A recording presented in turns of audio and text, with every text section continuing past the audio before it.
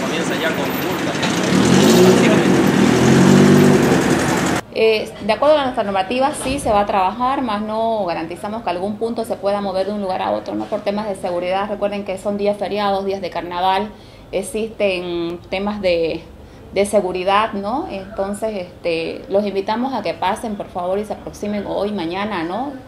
Todavía estamos atendiendo hoy día hasta las 7 de la tarde, entonces las oficinas están vacías y pueden apersonarse a hacerlo. Domingo, lunes y martes, ¿dónde se atenderá entonces?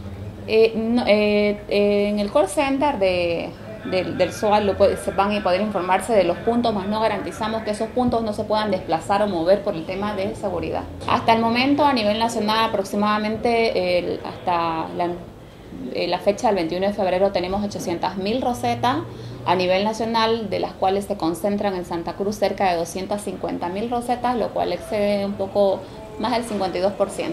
El 28 de febrero de esta gestión se cumple. ¿Se, va, ¿Se va a hacer controles por parte de la policía ya? Sí, seguramente la unidad de tránsito en su momento anunciará este, que empezará este, el primero de marzo su, el control correspondiente. ¿no? A partir del primero ya Univida empieza a correr unos gastos en caso de accidente. Así es, a partir del primero este, se empiezan a registrar todos los los casos de siniestros en esta oficina. Cerca de 100.000 rosetas en la ciudad de Santa Cruz hemos canjeado, este, nos resta por canjear 20.000 o 15.000 más. Estamos canjeando con normalidad, las personas vienen y lo hacen y lo van a poder seguir haciendo.